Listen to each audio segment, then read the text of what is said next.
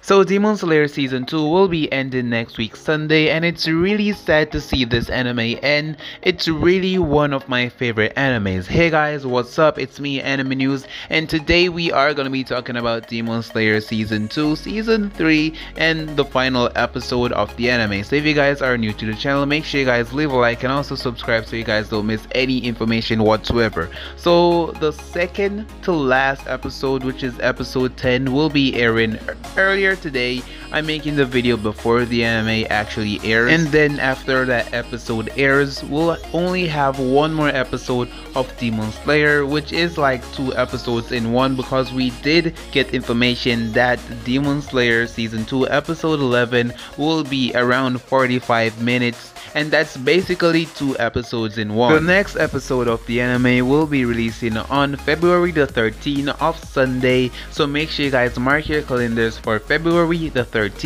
of Sunday 2022. As for season 3, they haven't announced it yet, they haven't said anything about uh, season 3, a new movie or any new OVA. We have to wait until the anime finish airs, so hopefully by the end of episode 11, we can get a season 3 announcement or a movie announcement or some announcement of some when more information is known i'll definitely update the video and let you guys know. So with that said guys make sure to leave a like subscribe join my discord server. The link will be down below in the description.